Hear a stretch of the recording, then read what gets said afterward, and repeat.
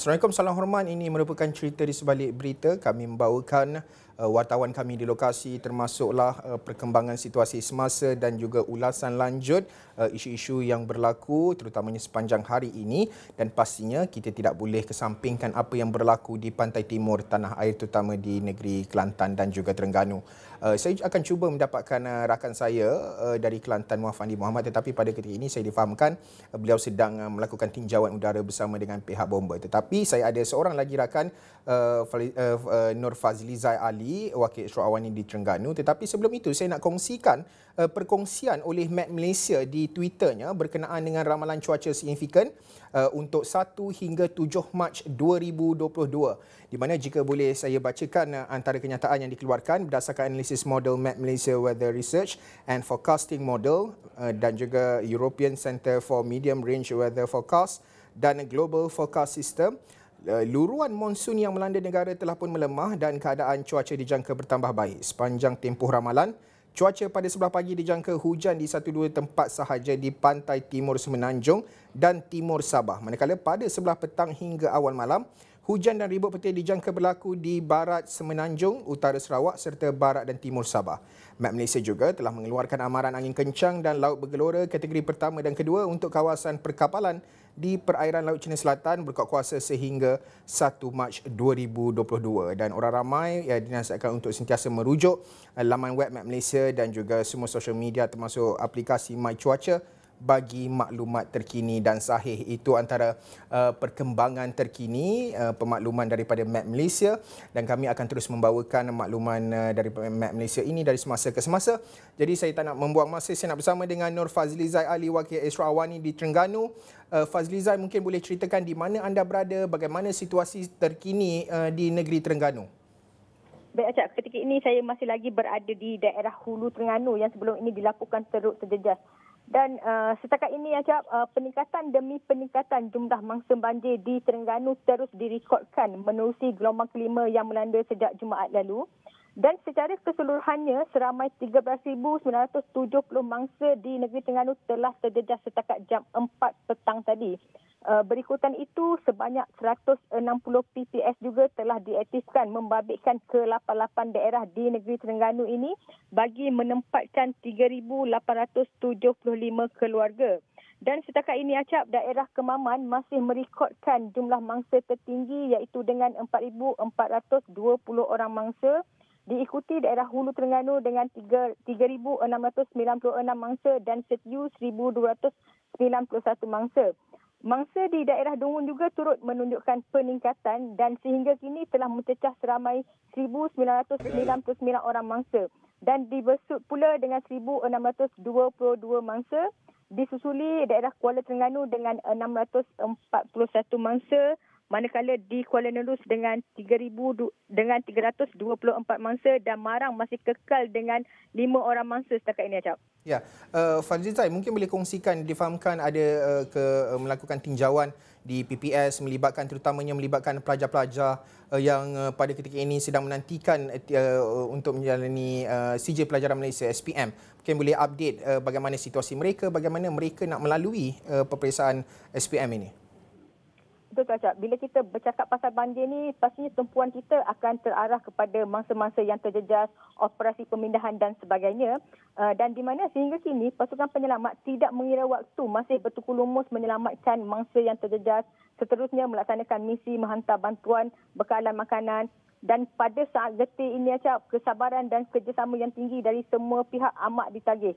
Baik, Cap. Di sebalik kebimbangan situasi banjir yang, ha- yang dihadapi oleh mangsa banjir dan juga pasukan penyelamat, uh, juga terselit uh, kerisauan lebih 100 calon SPM di daerah Hulu Terengganu ini selepas sekolah mereka dilanda banjir petang semalam. Di mana hanya berbaki beberapa hari lagi mereka diduga dengan bencana alam ini sehingga sehingga mengganggu fokus mereka uh, untuk belajar di saat akhir itu yang dikongsikan oleh uh, para pelajar sekolah menengah agama Mahmudiah di Kuala Berang ini Acap uh, selepas asrama dan juga sekolah mereka dinaiki air lewat tentang semalam. Dengan peningkatan air yang mendadak itu juga menyebabkan mereka tidak sempat membawa peralatan dan juga buku bagi mengulang kaji pelajaran. Kerana kita tahu uh, SPM akan bermula pada hari Rabu ini. Situasi itu uh, sangat menguji emosi dan juga semangat mereka dan ketika ini mereka memanfaatkan sepenuhnya kemudahan uh, khususnya telefon pintar untuk mereka belajar di saat-saat getir ini dan uh, situasi itu acap sebenarnya bukan hanya dilalui oleh pelajar di sekolah menengah agama Mahmudiah ini tetapi turut di dirasai oleh beberapa lagi uh, pelajar sekolah lain. Sebelum itu acap kita ikut dulu uh, kongsian daripada para pelajar ini tak. Uh, selama ni memang sekolah penuh kena dah banjir tu. Tapi dok setakat seteruk ni. Sampai dari sejarah Mahmudiah pun memang asrama lelaki tu tak pernah naik air. Tapi tiba-tiba kemarin uh, asrama lelaki tu uh, uh, naik air. Lepas tu kita pun kena pindah dekat uh, pusat pemindahan ni. Lepas tu uh, stak, uh, memang uh, situasi memang kelak kabut. Buku semua memang dok dah nak ambil. Jadi uh, untuk uh, nak pergi SPM uh, untuk hari Rabu ni memang kita orang memang bergantung dengan pada telefon saja. Sebab memang dok dah ambil langsung buku apa semua. Siapa mungkin bergantung pada telefon lah. Uh, ada minta dengan cikgu nota-nota uh, cikgu atau dalam grup-grup jadi boleh hal rujuk dan rujuk baca sebelum SPM buku tak dapat sama dan kena kampung dulu jadi macam um, masa setengah jam je sebelum Windows tu start biar rahat. Jadi sekejap je. Yang paling penting kita dapat samakan uh, barang-barang penting macam IC sebab kita nak buat Excel dah kan. Uh, buku-buku semua tak ada dah memang dah ingat nak bawa sebab panik masa tu kita bawa benda baju bawa rasa dua baju memang cemas sangat lah masa tu ha cemas sangat lah tahun 2014 memang banjir tapi dok, dok macam dia sekarang dok banjir macam yang sekarang ni ya.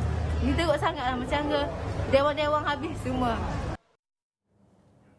Fadlizai difahamkan pada ketika ini operasi masih lagi dipergiatkan termasuklah uh, usaha untuk uh, menghantar bantuan bekalan makanan, keperluan asas uh, di kawasan PPS, mungkin di kawasan uh, pedalaman yang yang mungkin tidak terjejas dengan banjir tetapi uh, uh, laluan uh, di di uh, tersekat disebabkan oleh banjir di laluan masuk ke salah satu kawasan itu. Mungkin uh, Fadlizai boleh kongsikan update uh, berkenaan dengan uh, kawasan-kawasan yang uh, pada ketika ini uh, sedang dipergiatkan operasi uh, membantu dan dan juga menghantar uh, bantuan bekalan Fazizai. Ya, sebenarnya fenomena banjir besar yang melanda Terengganu sejak Jumaat lalu ini mengejutkan uh, ramai mangsa sendiri sebenarnya. Di mana khususnya di bahagian uh, kawasan Hulu Terengganu ini banyak kawasan yang tidak di yang tidak pernah dinaiki air turut terjejas pada kali ini. Uh, seperti situasi yang dilalui oleh penduduk di Kampung Tanjung Pusat Hulu Terengganu itu selepas hampir 40 tahun mereka tidak berdepan dengan situasi banjir ini, kali ini mereka kembali terjejas. Uh, dan air yang menaik meningkat itu juga tidak sempat mereka membuatkan mereka tidak sempat untuk membuat sebarang persiapan persiapan. Keadaan itu juga sebenarnya dilalui oleh beberapa penduduk lain khususnya di kawasan pedalaman di daerah Hulu Terengganu ini dan rata-rata mereka menyifatkan banjir yang melanda itu uh, uh, banjir yang terburuk yang pernah dilalui uh, oleh mereka.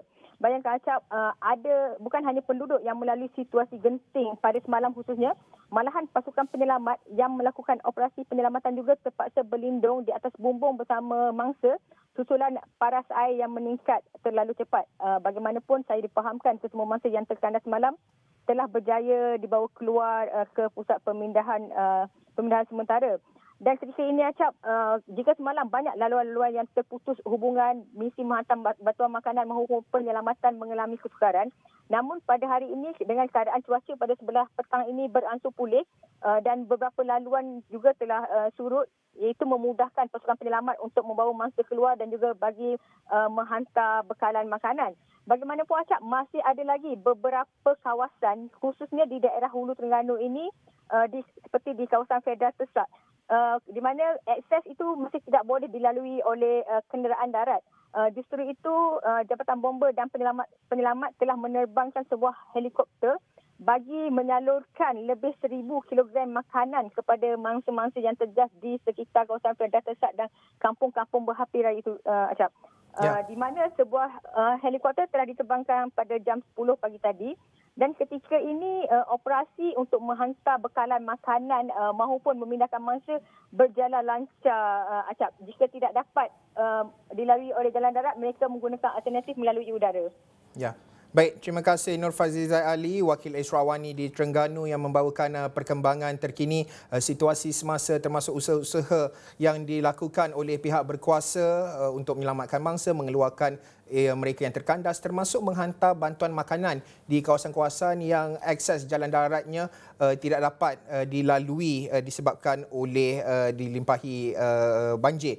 Dan pastinya dalam Awani 7.45 malam ini rakan kami di Kelantan pula Muafandi Muhammad uh, akan uh, berlintas langsung membawakan perkembangan terkini selepas beliau uh, melakukan tinjauan udara dan uh, cerita buat masa ini kita ingin berhenti rehat seketika selepas ini kita ingin ke negeri Johor pula. Kita rehat dahulu, kembali selepas ini.